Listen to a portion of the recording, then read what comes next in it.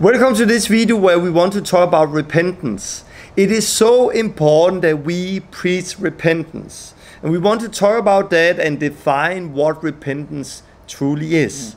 The sad thing is that what you see in the church today in many places is that people are preaching faith. Faith to God, faith to Jesus without repentance. But we need to preach repentance.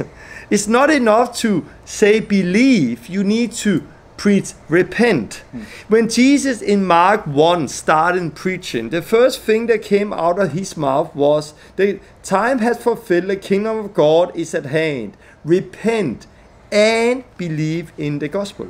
So the first word that came out of Jesus' mouth was repent. They need to repent. Hmm. Jesus was then preaching repentance. He died on a cross. He rose up again. He went to his disciples and he said to them something before ascending to heaven. And he said to them, This is written that the Christ should suffer and on the third day raise from the dead. And that repentance and forgiveness of sins should be proclaimed in his name to all nations, beginning in Jerusalem.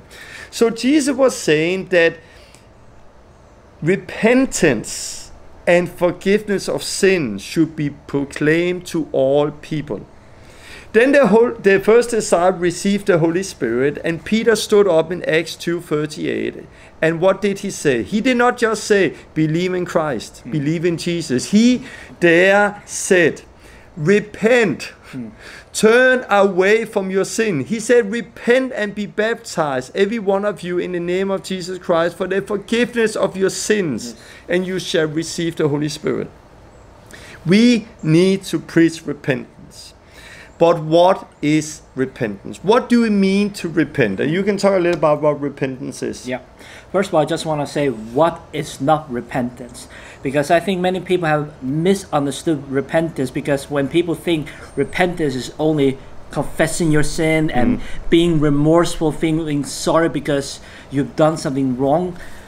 Now the thing is this it's okay to confess, it's okay to be remorseful, but that's not the only that's not the full pictures picture of what repentance is. Because true biblical repentance start with that we recognize that we have sinned against a holy and righteous God and we are guilty. But it doesn't stop there. When we recognize we start to turning away from our sin, to turn away from our lifestyle, sinful lifestyle, what we used to do before, like to stop drinking, to stop lying, to stop living life in sin. Yeah. You know, the word, the Greek word for repentance means to rethink, which is good. But the interesting part, the Hebrew word for repentance means to turn and to turn again.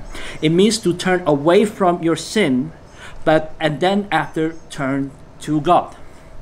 If, if people truly understand what faith in Jesus is, then of course they will repent mm. because it's not so much faith in Jesus, is it's not just believe in Jesus, it's believe Jesus. Hmm.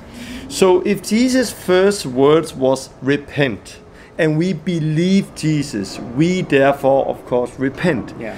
But we have me- met many people in the churches today who have misunderstood both what faith is, but also truly what repentance is.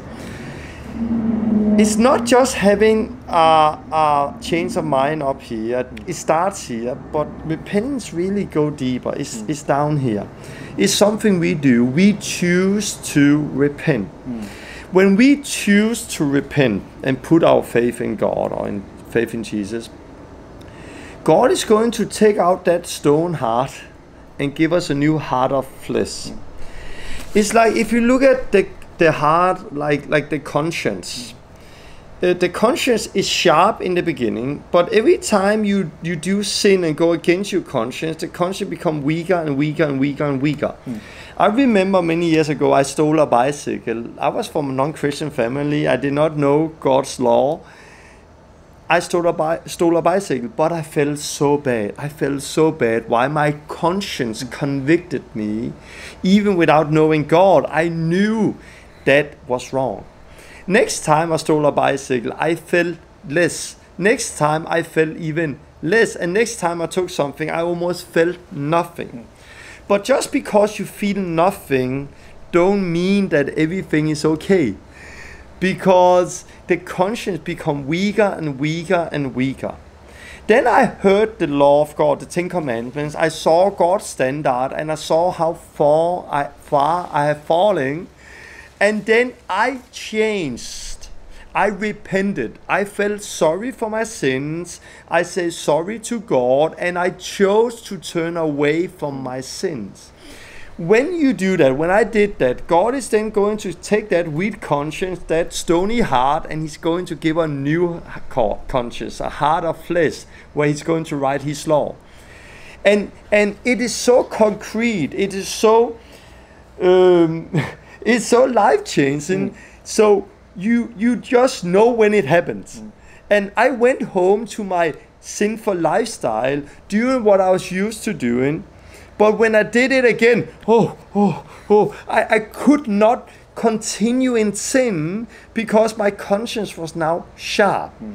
And and you have also experienced it. Yeah, I, I've experienced and this is so real. The thing is, that's the same thing with me. Uh, like before I became a Christian, I was going out, drinking, smoking, partying, and all this kind of stuff. But when I turned away from my sin, when I came to Christ and turned away from all my sin, as he explained, this like God comes to get and He gives that new heart where I had that new heart. Like before, I could curse, I could hurt people without feeling bad conscience. But after repenting, when I lie, when I hurting people, when I did hmm. something was was wrong, it was screaming. It was like, oh, this is wrong. This is wrong because something new has started, something clean, and you just want to hold on to that. Yeah. And there is impo- important that after repent, you take the next step, that is baptism mm. water, and then you need the Holy Spirit, yes. so you can hold on to that clean conscience yes. you have now got. Yeah. What I really love with repentance is, as I said, it's so concrete in that way. You you know when you are repented. Mm-hmm. It's not up here, just. It's it's really down here. You cannot keep on sinning. I have met many uh, quote unquote Christians who say they believe in God, but us who really have the faith in God, we know they don't believe or they have misunderstood what faith in God is. But faith is so diffuse uh, for many, like, yeah, I believe, I believe, or maybe I believe, I don't know if I believe enough, or how much do you need to believe? Mm. But repentance is very like you have repented or you are not repented. Yes. You have experienced what you don't have experienced. You have experienced what I have experienced. You know about that new conscience. You know about that suddenly you cannot do what you did before. You hate what you before loved. Mm. Many of you, most of you maybe who have seen this video know what we are talking about. You have experienced the same. You who have not experienced it, you have no clue what we are talking about. You are lost. You are still lost. You are still in your sins. because this is where Christian, where life with Jesus start. This is where the new birth start. And if you're not experienced that, you are still in your sins. It's not enough you have it up here. You need to have it down here. And remember, repent is something you do. Yeah. So when we baptize people uh, who have not repented, when we talk with them, we say, "Go and repent." Go and talk with God. Say you feel sorry for yourself sins and then change. You decide to turn away from your sins. And when you do that, God is going to give you a new heart. Yeah. Uh, I want to read a, a, place here where it just um, is very, very clear in First John 3. Everyone who makes a practice of sinning also practice lawlessness. Sin is lawlessness. And you know that he, that is Jesus, appeared in order to take away sin. And in him, Jesus, there is no sin. No one who abides in him, no one who abides in him keep on sinning, and no one who keep on sinning have either seen him and or know him. Little children, let no one deceive you. Why is written here, let no one deceive you? Because this is an area where many, many, many people today are being deceived. Mm.